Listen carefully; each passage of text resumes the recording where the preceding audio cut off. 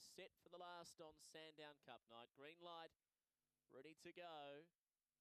Away, Mapunga Isla jump well, but then brush with one thrill and going out fast. Charlie Cockatoo's going to lead Mapunga Isla, who cruised across to second a length away. Three lengths to Superstitious. We own a Bont.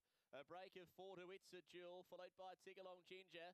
And the trailer's Annie Rose back with one thrill, but there goes Mapunga Isla.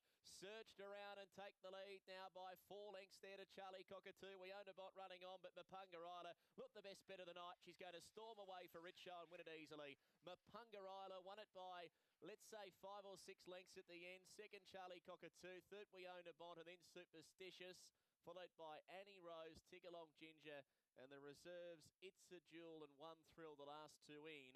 Adam Richardson all of the way from the west of the state takes out the last in 29.56. Mapunga Isla, she's been able to really open up up the home straight. Number eight, she's a, an extremely fast dog. And that was a, a wonderful win, a well-deserved win.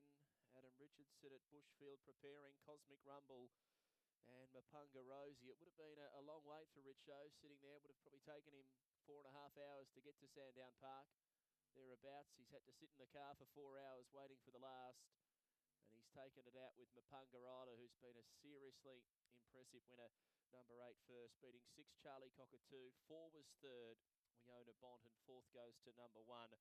Mapunga Isla coming off that blistering win last time out at Bendigo. Her run home would have been in the 1230s. She's brought that form to Sandown and been able to romp away and win. 8, 6, 4 and 1 winner.